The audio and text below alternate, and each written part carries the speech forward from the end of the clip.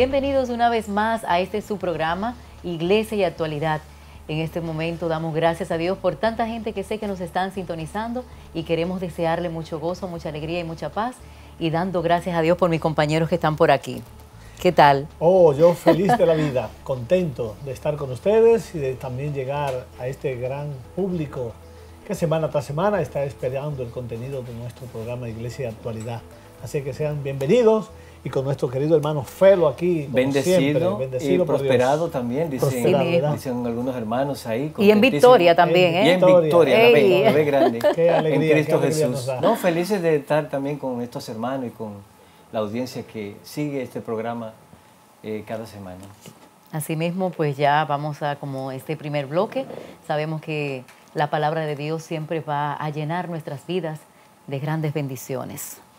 Pues muy bien, el Evangelio de San Lucas, correspondiente al domingo sexto del tiempo ordinario.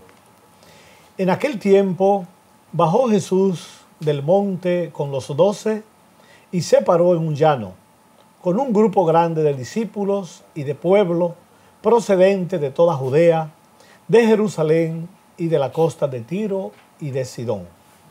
Él, levantando los ojos hacia sus discípulos, les dijo, Dichosos los pobres, porque vuestro es el reino de Dios. Dichosos los que ahora tienen hambre, porque quedarán saciados. Dichosos los que ahora lloran, porque reirán. Dichosos ustedes cuando les odien los hombres y les excluyan y les insulten y proscriban vuestro nombre como infame por causa del Hijo del Hombre. Alégrense ese día y salten de gozo, porque su recompensa será grande en el cielo. Eso es lo que hacían sus padres con los profetas. Pero hay de ustedes los ricos, porque ya tienen su consuelo. Hay de ustedes los que ahora están saciados, porque tendrán hambre. Hay de los que ahora ríen, porque harán duelo y llorarán. Ay, si todo el mundo habla bien de ustedes. Eso es lo que hacían sus padres con los falsos profetas. Palabra del Señor. Gloria, a, ti, Señor, Jesús. Querido Felo y querida Lusitania, este público en general, hemos escuchado este evangelio muy hermoso, a veces incomprensible, porque ¿cómo pueden ser en este mundo dichoso los que no tienen nadie, los que no tienen nada, los que lloran, pueden ser dichosos. Lo vemos como que no tienen dicha. A, este, a la luz del mundo, dichosos son los que tienen todo, los que tienen carro, casa, trabajo y no tienen problemas, los que tienen una economía estable. Sin embargo, en, esta, en este evangelio que escuchamos, es un proyecto de vida que tiene como fin la vida eterna. Y, recordemos que este proyecto, este programa para la vida cristiana, el Señor nos está hablando de la vida que Él nos ha prometido. En este mundo, las cosas que son dichosos y que tienen todo, son los que luego eh, llorarán, porque la recompensa de los que, tristes, de los angustiados, este, será, será satisfecha en la vida eterna. Recordemos que Jesús este, instaura su reino de amor en este mundo, pero les dijo muy claro a sus discípulos y a las comunidades que él eh, congregó, que él fundó, más bien la de los apóstoles, que esta vida es solamente un preludio, ¿verdad?, de lo que es la vida eterna. Y el Señor nos prepara para la vida futura. Entonces, en este mundo los que ríen, los que lloran, los tristes, los angustiados, no se entristezcan tanto, porque serán consolados en la vida, en el reino que Él nos ha prometido. En cambio, viene a decir que aquellas personas que tienen todo, que son ricos y que supuestamente no les falta nada, luego llorarán porque han encontrado todo. De manera que este programa de vida debemos de interpretarlo en la escatología mesiánica, o sea, la vida futura, el fin de los tiempos. Y nosotros caminamos con este programa hacia la vida de perfección cristiana. Y estas bienaventuranzas tocan nuestra vida, tocan la vida de todos los, los cristianos. Y es bueno pedirle al Señor que nos ayude a comprender su plan de vida, su proyecto, para que podamos entrar en este programa de las bienaventuranzas. ¿Qué le amén, Amén. Qué bonito, Padre. Excelente. Eh, este Evangelio eh, tiene toda una riqueza. si nos ponemos a, chequear las bienaventuranzas, para ver cómo la realización de la bienaventuranza, vemos a, a Jesús, vemos a los discípulos, a los apóstoles, la vida de los santos. Esos son los bienaventurados, porque prefirieron persecuciones, enfermedades, morir al mundo para alcanzar esa, esa escatología final, ese, ese fin último que es alcanzar la vida eterna.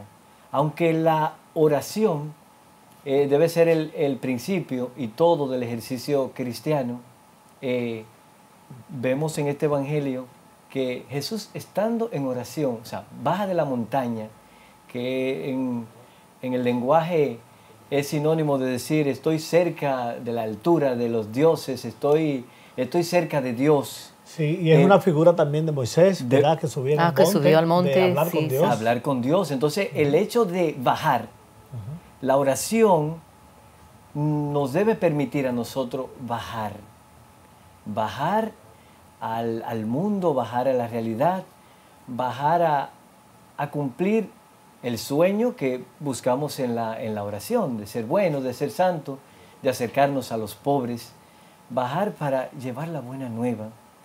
Y los que viven las bienaventuranzas son los santos, Padre, los que han decidido morir a sí mismo para darle un sí a Dios y un espaldarazo, perdón, morir al mundo y darle un sí a Dios, pero no importándole los sacrificios, las penas. Vamos a tener no creemos en, un evangelio que venden algunos hermanos del progreso, de que no vas a morir, del dinero.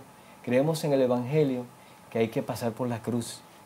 Pero esa cruz tiene una felicidad que será alcanzada al final de los tiempos cuando veamos a, Dios cara a cara. ¿Qué usted dice, querido Dios mío, Dios mío. De verdad que las bienaventuranzas, eh, esta, palabra de Dios nos llega tanto y, y siempre la vemos en nuestros hermanos. Fíjense que le voy pues, a, contar ahora algo breve que me pasó ayer y cómo yo vi las bienaventuranzas y cómo vi esa felicidad en esa hermanita ya de 90 años, pero que ha llevado una vida de santidad realmente. Yo dije, wow, es una verdadera santa.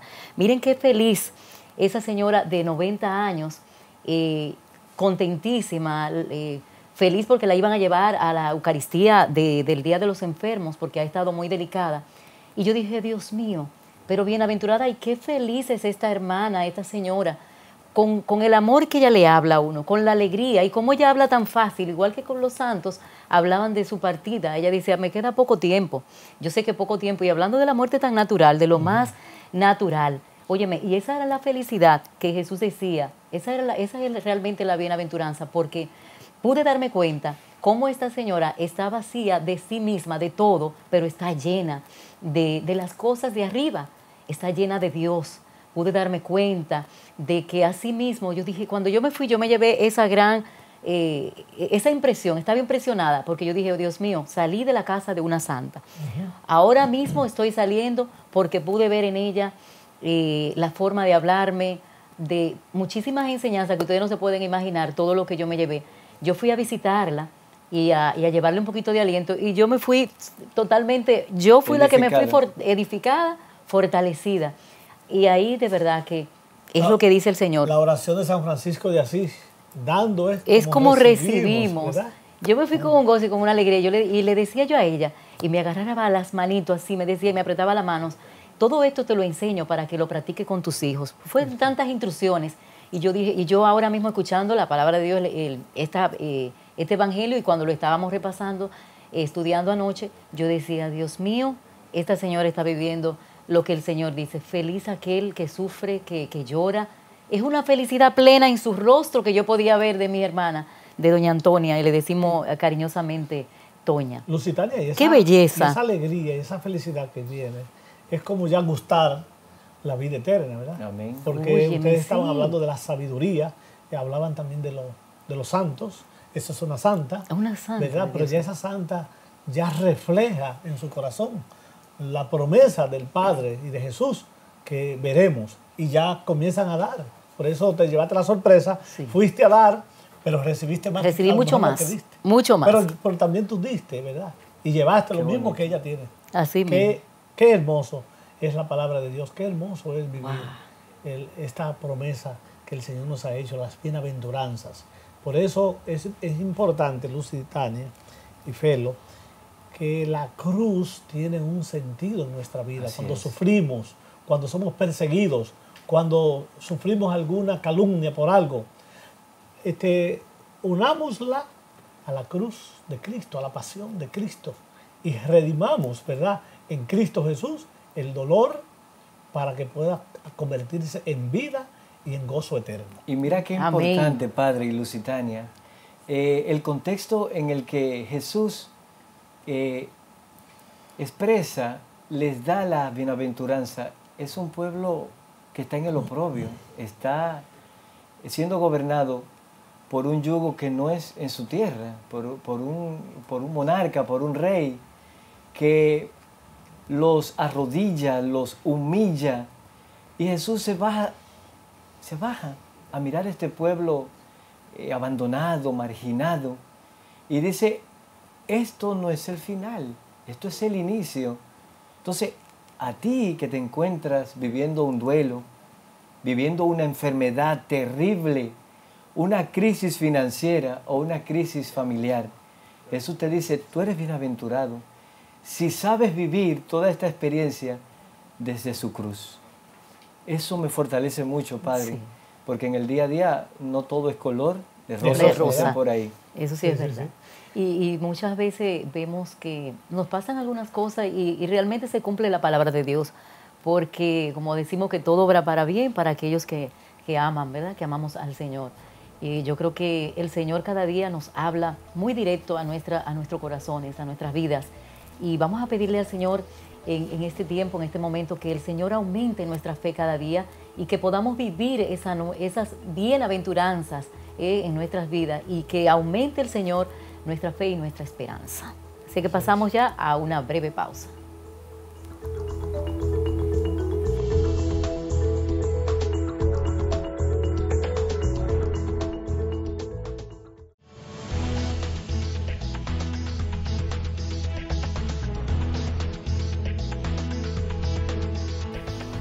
Vuelta con todos ustedes, queridos hermanos y hermanas, como cada semana, el pasado miércoles, en la audiencia general el Papa Francisco pues nos da una buena catequesis. Pero pongan mucha atención a este interesante video que el Papa tiene para cada uno de nosotros. Veamos. En nuestra reflexión de hoy consideramos la devoción del pueblo cristiano a San José como patrono de la buena muerte, pensando que en la presencia de Jesús y la Virgen cuando Él murió en Nazaret. La cultura actual ha tratado de eliminar la realidad de la muerte del horizonte humano o disimularla. Sin embargo, la pandemia del coronavirus la ha vuelto a poner en evidencia. La muerte forma pues parte de la vida de toda persona y solo la fe en la resurrección de Cristo nos otorga la fuerza para afrontarla cristianamente, sin miedo, como un pasaje necesario para estar siempre con Él. La muerte, iluminada por el misterio del Señor resucitado, nos ayuda a ver la vida con mirada nueva, como una ocasión que Dios nos da para amar a los demás y hacer el bien quitando del corazón la ambición, el rencor y el resentimiento. El Evangelio nos recuerda además que la muerte llegará como un ladrón cuando menos lo esperamos. Esta realidad nos lleva a dos consideraciones que valen para todos, creyentes y no creyentes. La primera es que la muerte no es un derecho, no podamos programarla, tampoco evitarla. Por lo que un ensañamiento terapéutico, en vez de aliviarlo, es, inmoral. La segunda es que toda persona tiene derecho a la vida, a los cuidados médicos y a los cuidados paliativos, especialmente los ancianos, para afrontar la muerte de manera más humana. Saludo cordialmente a los peregrinos de lengua española que están aquí. Pidamos todos juntos a San José que nos ayude a aceptar el misterio de la muerte con espíritu cristiano, que nos alcance del Señor Jesús la gracia de experimentar la misericordia del Padre, sobre todo en ese momento de nuestra vida, cuando nos toque pasar por la puerta oscura de la muerte. Que el Señor los bendiga. Muchas gracias. Como pudieron observar, queridos hermanos, ver en este interesante video del Papa Francisco, en el cual él sigue dándole seguimiento y hablando sobre la vida de San José. San José, patrono de la buena muerte. La vida debe ser protegida, debe ser cuidada, no suministrada. Y qué bueno, porque va de la mano con las bienaventuranzas la la muerte no es el final.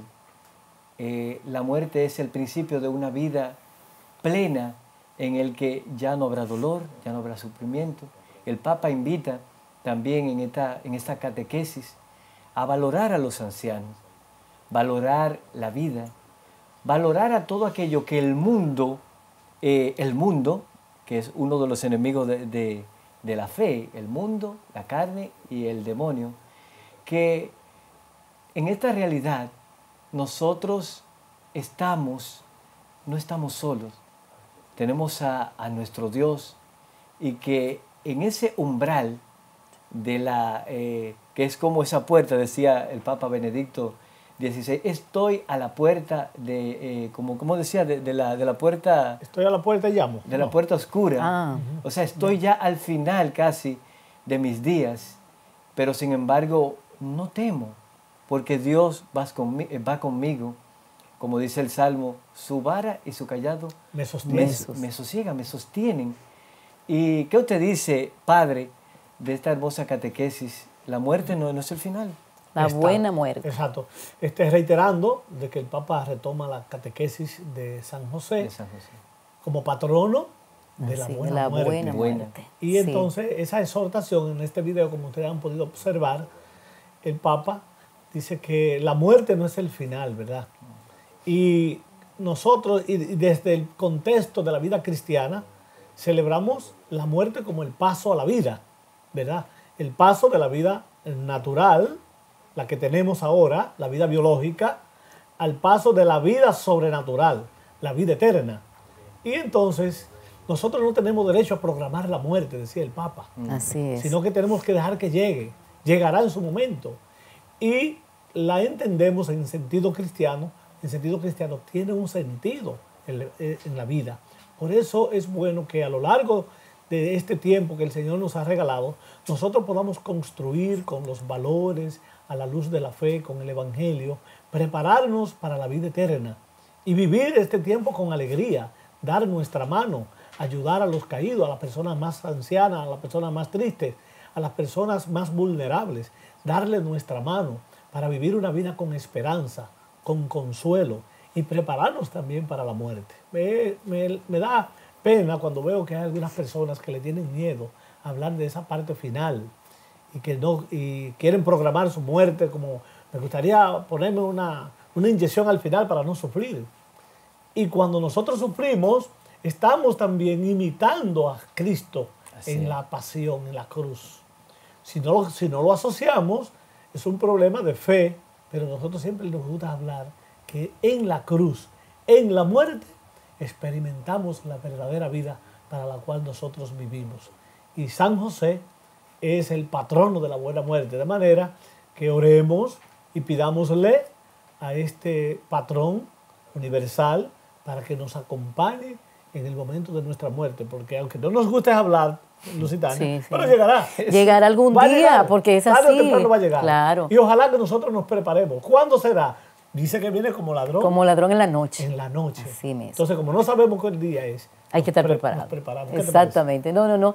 Como siempre, estas audiencias del Papa nos llenan de mucha sabiduría. Y a ustedes hablando de esa buena muerte, hay que invitar también, Padre, a nuestras, eh, nuestras hermanas y también hermanos de nuestras iglesias a que se preparen, a que puedan asistir a personas que nada más no sean los sacerdotes. Hay muchos laicos, yo recuerdo mi madre hacía eso, también a mí me ha tocado, e ir a, a orar por aquellos que ya están eh, en una hora agonizante, como se dice, Sí. ¿verdad? Agonizando. Y que a veces, eh, ay, que nada más creen que los sacerdotes. No, hay personas que, puede, que están preparados.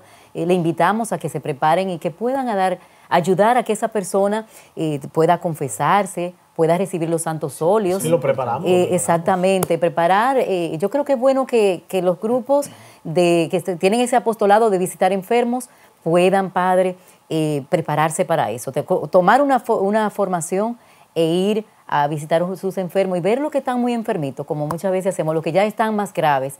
¿Para qué? Para poderlo, que puedan tener esa buena muerte de que el Papa hoy habla. Algo que me gustó también, eh, que el Papa Francisco, eh, Felo y Padre aquí, y todos ustedes habló, fue que él agradece a la ciencia, o sea, agradece a que la medicina, ¿verdad? El avance de la medicina, de lo que sabemos que gracias a Dios, eh, pues eh, muchas veces hay personas que Dios le da la oportunidad a través de los medicamentos y de la medicina a que puedan tener una larga vida. Exacto. Y pues también habló el Papa Francisco en esta audiencia, señores, de la eutanasia, que es eso es impermitible. Correcto. Eh, la, eu- la eutanasia, ya usted lo hablaba ahorita, padre, de que hay personas que, ay, que, que pro- que quieren programar su muerte, que Así hasta es. cómo irse. Yo quisiera, o ay, yo he escuchado a personas que dicen, quisiera que me dé un infarto y que yo ni cuenta me dé. No, señores, eh, tenemos que apreciar lo que el Señor pues, nos enseñó, que fue un ejemplo para toda la humanidad. Jesús murió, pues eh, ustedes todos lo sabemos, crucificado con, hasta ir hacia, hacia el Calvario con un sufrimiento que, bueno, nadie en el mundo ha podido sufrir como lo hizo el Hijo de Dios, ese que nos da el ejemplo de cómo debemos nosotros acoger y abrazar nuestras cruces. El sufrimiento no importa lo que estemos pasando. Padre, qué bueno cuando uno escuchaba a los- nuestros abuelos, a nuestro padre decir que en los momentos más difíciles de su vida a- a- abrazaban su cruz y daban gracias a Dios. Por eso hablaba él de la preparación en la esperanza. En la O sea, el esperanza. sentido del vivir y del morir cristiano, que no es un final, sino un paso. La muerte de Felo es, es Pascua, ¿verdad?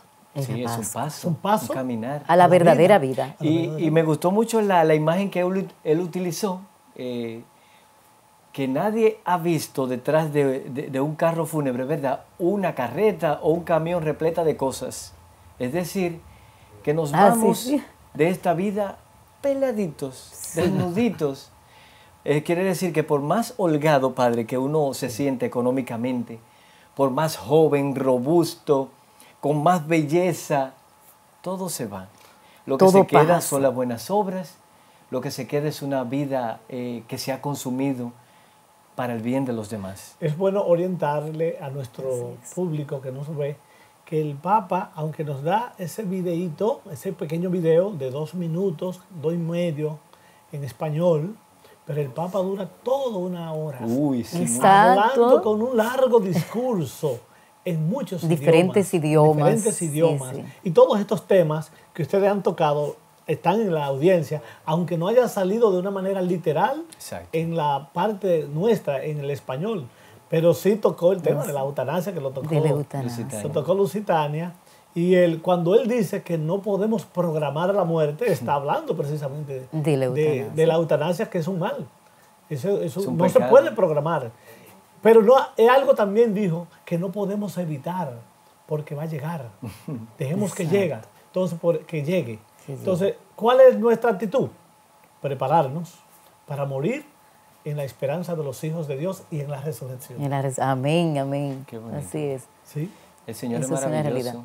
Eh, es, es increíble cuánta enseñanza y, y tú que estás a la puerta o piensas que por tu edad o por tu enfermedad ya acabó todo, no. Ahí inicia una buena nueva, eh, una, una esperanza, un camino de la mano con Jesús que, que no pasó una vida eh, fácil, No fue fácil. pero lo pudo y alcanzó la, la plenitud. Felo, aunque yo creo que todo el mundo sabe que no es la edad avanzada la que está cerca de la muerte, ¿verdad? No, Oh, eh, pero sí, antes de muchos- nacer, hasta Muchos antes, niños hasta antes de nacer. y jóvenes Claro. eh, morir, ¿verdad? Así es. Y te vemos tantos jóvenes. Cuando viene a ver, están muriendo más jóvenes que viejos. Porque los jóvenes mueren por tantas cosas. El asunto del bajo mundo, como le llamamos, Ay, Sí. la corrupción, la droga, ¿verdad? los vicios, Sí, el la- alcohol, las guerrillas, alcoholismo. todas esas cosas, tanta muerte. Y fruto del mal. Fruto del Entonces, mal. Pero sí, indudablemente, que la vida anciana está cerca de, esa feliz, de ese feliz término. Y qué bueno es preparar personas, ver personas tan preparadas. Este, eh, Lusitania dio, hizo una anécdota, pero no quisiera mencionar el nombre de una persona también, pero hay una persona, este, amiga, que preparó su muerte y me eligió a mí, me eligió a mí para que le fuera a asistir en su momento final. Wow. Y ella misma me dijo, mire padre, yo quiero que usted ayude a mi familia en Qué la muerte. Wow. Quiero que ayude en mi muerte. Qué mujer que, más Que no fuerte. deje. y- y- yo digo, ¿por usted no se está muriendo? Sí, padre, yo quiero que usted me celebre la misa final. Yo tuve esa oportunidad. Wow, Óyeme, se le cumplió a ella ese sí, fui y le deseo. asistí dos veces y, tuve, y pude ir a la- Wow. al funeral. Eso tiene ocho meses. Wow, apenas ocho meses. Un gran Sí, testimonio. sí. Y yo, y si la familia me está viendo, Carmen Veras, ¿verdad? La familia, Carmen Veras, este, yo siempre oro por ella. Una porque santa, padre. siempre he dicho que es una santa. Si la familia me está viendo, yo sé que va a recordar este momento tan e- especial allá cerca de la Vaya. 27. Wow. Este, siempre les recuerdo a ella y desde el cielo sé que está pidiendo por nosotros. Bendito Padre, y sea me, Dios. lleva, me llega a la mente que posiblemente muchos jóvenes, personas adultas, están considerando quitarse la vida Ay, lo sé, porque sí. no alcanzó un sueño, porque le troncharon el sueño, eh, la- eh, eh, vivir una vida a plenitud. Entonces, mira a Jesús, a Jesús crucificado, y verá que lo que estás viviendo no es nada en comparación con lo que Él vivió, y Él te va a acompañar. Y no opte por eso, entrega tu vida al Señor y, y alcanzará plenitud. Amén, amén. Qué, qué bendición es poder nosotros, eh, así como, como decían nuestros antepasados, ver nuestros eh, seres más mayores, adultos mayores, como decimos, y que siempre nos viven dando esa enseñanza de esperanza. Y es como ya decía pues el, el Padre, el Padre que, que debemos pedirle al Señor que aumente esa esperanza, porque eh, muchas veces hay personas que viven en la vida pensando como que, como que no se van a morir o como que no hay otro plan más maravilloso que pues sabemos que es el plan B que Dios ha optado para que podamos vivir una vida, una vida eterna y pedirle al Señor que tengamos una vida de gracia.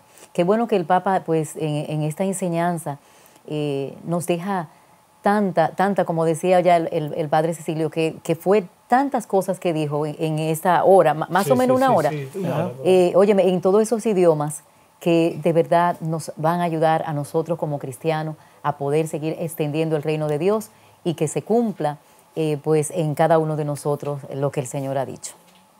Efectivamente, eh, invitamos a, a todos. Lo, lo principal es orar. Así es. Volvemos siempre a lo mismo, pedirle al Señor fortaleza para poder afrontar todas las situaciones, la crisis, desde la fe, desde la cercanía a, a una vida de, de comunión y, y también de solid- solidaridad con los demás. Eso ayuda mucho. Amén. Padre, eh, hemos concluido con este, con esta, este set. Vamos a hacer una pausa y en breve continuamos.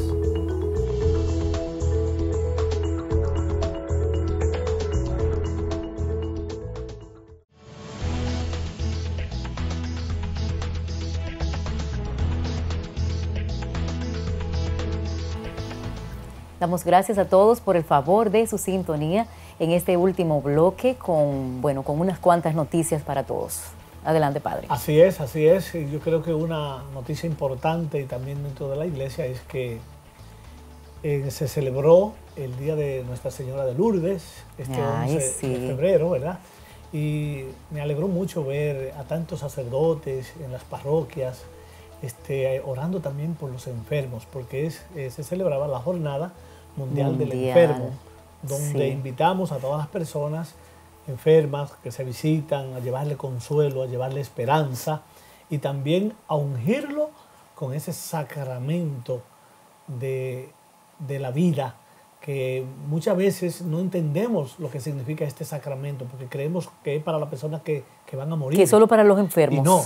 Y el sacramento de la Santa Unción es para los enfermos, pero también para las personas que están en riesgo, en algún riesgo. Cuando uno va de viaje, por Exacto, ejemplo. sí, o una mujer Sí, cuando va a dar a luz. Ajá. o cuando va a, a recibir alguna cirugía, Sí. acostumbramos también a ponernos este sacramento. Y en esta jornada mundial se celebraron eh, cientos, miles, ¿verdad?, de unciones por los enfermos para que renueven su vida espiritual, su vida Espiritual. Padre, y Pa- para, y para que la audiencia Sí, sepa, eh, fue Juan. Pablo II que instituyó La jornada la mundial, mundial hace de 30 los años. Qué bueno, qué bueno. en el cual pues se invita a tomar conciencia de un buen vivir y, y es maravilloso. Esta, Sí. eh, como usted dijo, Padre, la- la- las casas de oraciones, las parroquias, todos eh, a favor de, de dar esa asistencia y orar por los Salud enfermos. espiritual, sobre todo, que es la más importante, y la corporal.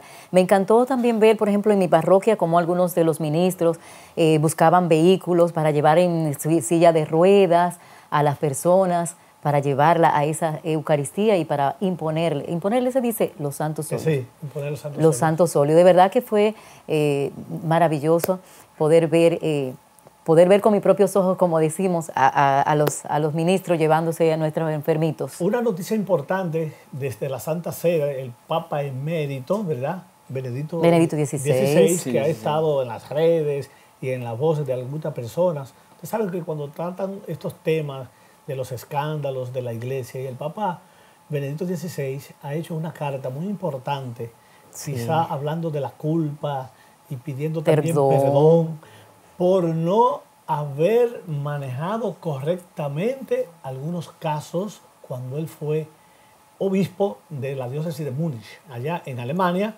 y entonces hace una carta diciendo, pidiendo perdón, pero hay algunas personas que han malinterpretado este, esta carta y, y han acusado al Santo Padre diciendo que era como los demás.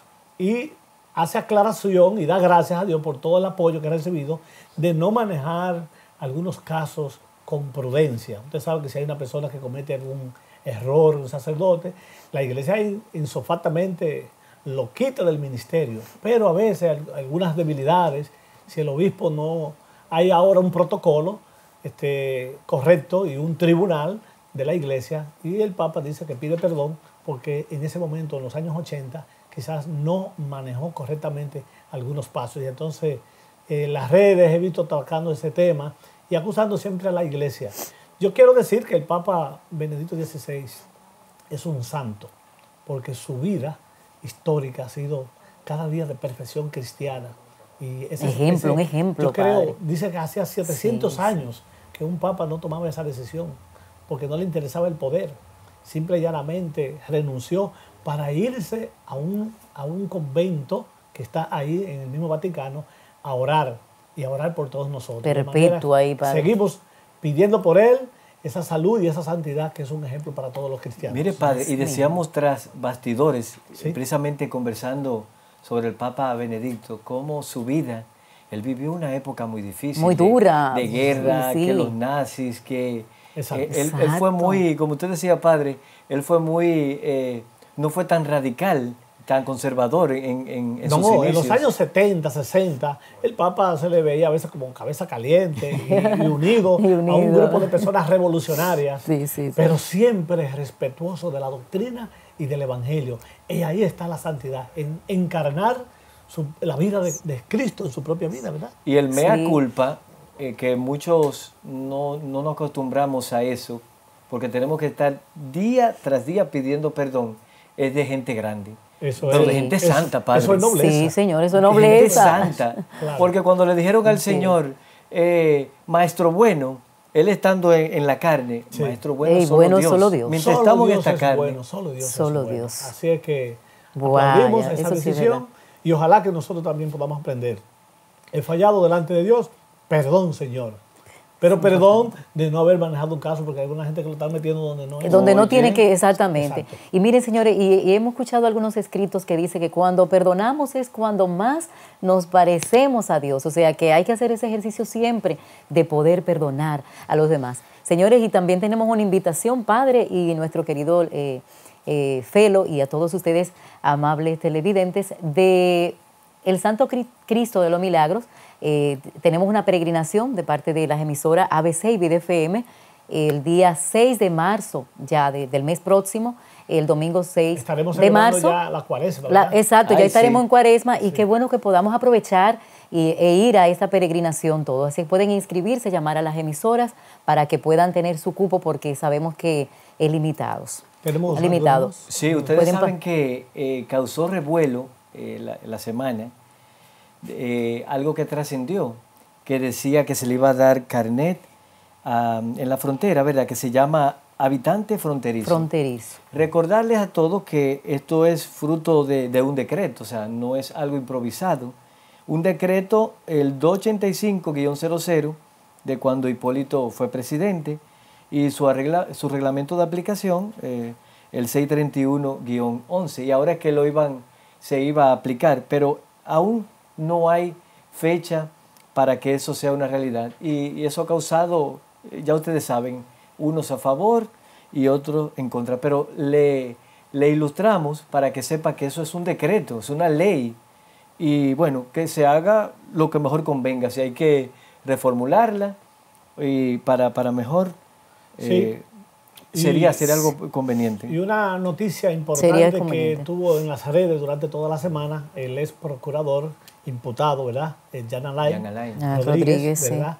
este, pidiéndole a la Procuraduría que tienen que pedir perdón por todo el caso como se ha manejado y que se quite su nombre y también que se, le, que se desasocie, ¿verdad? Su nombre Medusa, porque eh, se ve muy, muy ofendido y a él hay que pedirle perdón.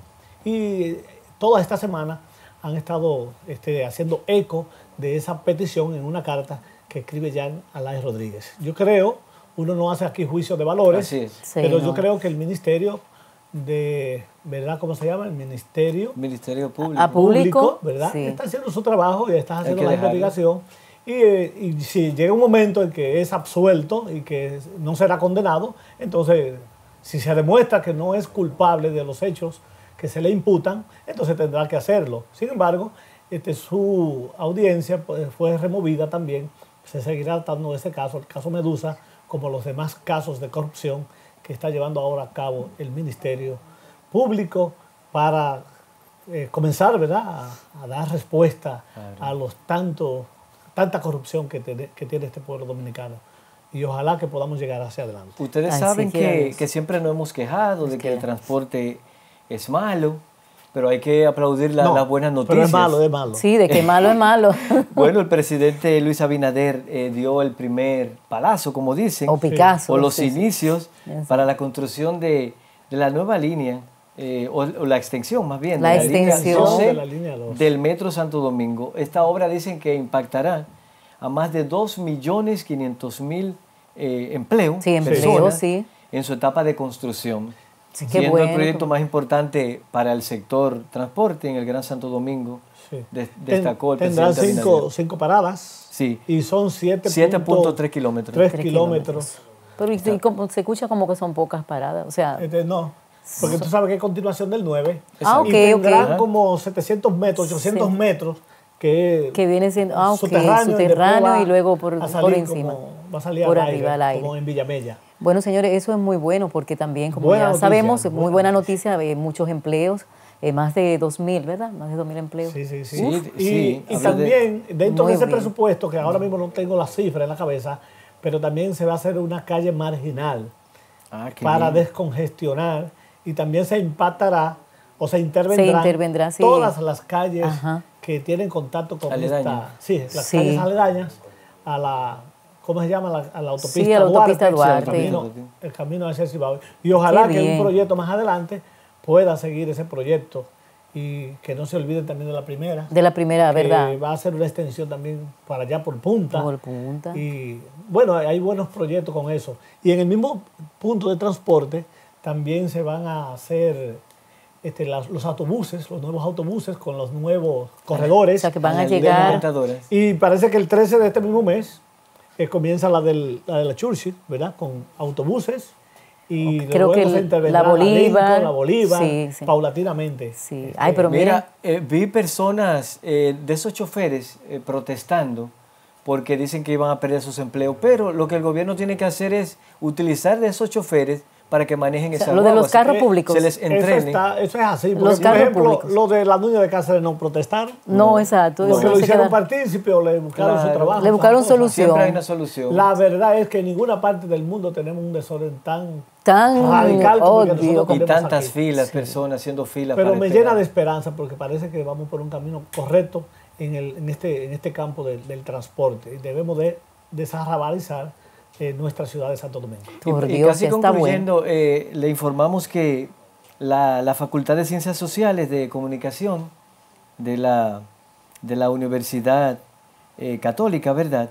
Tuvo un simposio en la Escuela de Comunicación donde trataba este, este elemento, investigación periodística y opinión pública para el fortalecimiento de la democracia. Muy interesante. La actividad pues se, se realizó en el auditorio de la Biblioteca Cardenal Veras Rojas y, ahí tuvieron participando diferentes eh, grupos de comunicaciones y, y, enti- y personalidades de la vida social. Qué bien, muy interesante. Interesante. Otra noticia también importante y es que el COVID ha ido bajando. Ah, ¿verdad? sí, Ay, sí. gracias a Dios. Gracias a bajando. Dios. No es que no hay.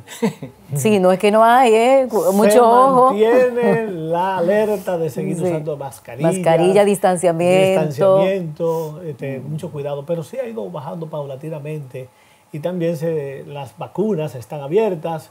Se están vacunando ya a partir de esta semana los menores de edad, ¿verdad? En las escuelas con eh, la anuencia también de, de sus padres. De sus padres, sí, porque no, no va a ser obligatorio realmente. ¿Tenemos Eh, alguna otra noticia? No, Yo creo que- eh, dándole las gracias a, a toda la, la población dominicana y, y fuera de República Dominicana que nos reportan audiencia y es extraordinario. De verdad que lo hacemos esto mucho, Queremos- Padre, con, se lo decimos con mucho amor, nos preparamos para dar lo mejor de sí, porque el Señor se merece lo mejor. Y le damos gracias a este canal, que es un medio poderoso para llegar a las personas. Usted O sea, todo el equipo de, del canal de Televida queremos pues felicitarle, porque sabemos que mucho esfuerzo, ¿verdad? Mucho sacrificio, con mucho amor, que pues eh, nos ayudan a que todo esto salga para todos ustedes. Y queremos dar gracias también, porque sé que como dice Felo y el Padre, muchas personas nos están, ¿verdad? Eh, se están realimentando de, de este contenido y nos están pues diciendo, eh, los, enviando saluditos. Y bueno, a ustedes le enviaron muchos saludos de allá de Yamasá, Ah, nuestra claro. gente de el Yamasá, el pueblo pueblo del Padre.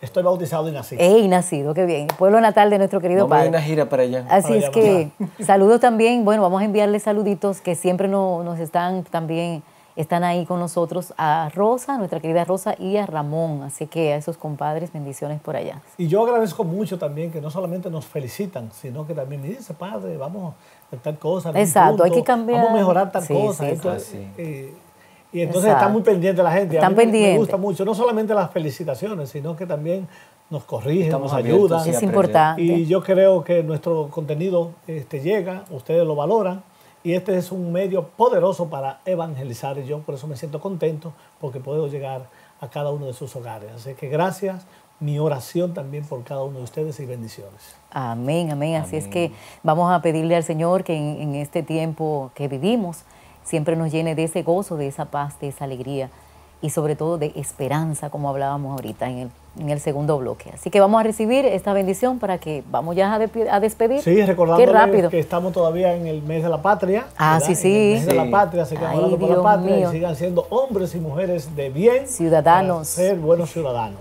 Ahora le imparto mi bendición a todos ustedes y a todos sus familiares. Que ese Dios de amor, Padre, Hijo y Espíritu Santo, descienda sobre ustedes y permanezca para siempre. Amén. Amén. Hasta la próxima semana. Bye bye. Pásela súper bien.